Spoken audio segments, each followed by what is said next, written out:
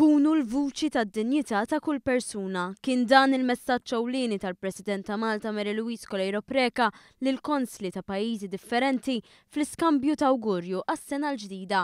Il-President ta' Malta esprimiet l-apprezzament għax-xogħol li wettqu tul is-sena li għaddiet Sena li kienet ta' sfida kbira għax-xenarju internazzjonali.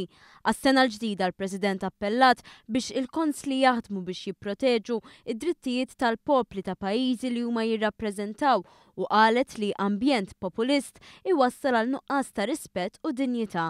Żiedet tgħid li għalhekk il-Presidenza Maltija tal-Kunsill tal-Unjoni Ewropea hija opportunità biex Malta turi lid-dinja l-impenn tagħha lejn it-tisħiħ tal-valuri demokratiċi. Il-laqgħa mal-President ta' Malta kienet segwita laqgħa mal-Prim Ministru Joseph Muscat F'Kastilja l-Konslu Onorarju Godwin Bencini innota li s-sena li għaddiet kienet sena li l-aktar tat viżibilità x-xogħol ta' konsolat minħabba l-isfidi kbar li affaċċjat id-dinja. Fil-fatt, fin-nuqqas ta' ambaxxaturi residenti, ir-responsabilità ta' konslu żdiedet.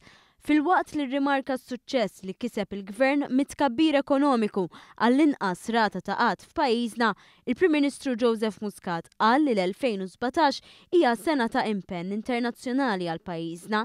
Qal li hawn fejn jidħol is-sehem tal-Konsli li għandhom iwasslu l-prijoritajiet li pajjiżna se jkun qed jaħdem fuqhom tul il-Presidenza tal-Kunsill tal-Unjoni Ewropea. Sinjuri, dawn mhumiex sempliċement numri jew statistiċi. Wara kull figura hemm tfajla ġuvni, omm jew missier li qed itejbu l-ġejjieni tagħhom u tal-familja tagħhom. B'dawn ir-riżultati f'idejna ma nistgħux ma nkunux ottimisti dwar l-isfidi li se niltaqgħu magħhom f'dawn ix-xhur li ġejjin, fosthom kif diġà għedt u mhux inqas, imma mhux biss, il-Presidenza Maltija. Nistedinkom biex tieħdu sehem attiv f'dan il-kapitlu storiku ta' Malta u tagħrfu tieħdu wkoll opportunità illi bija jkompli jissaħħaħ il-profil ta' dan il-pajjiż permezz tal-kuntatti professjonali tagħkom.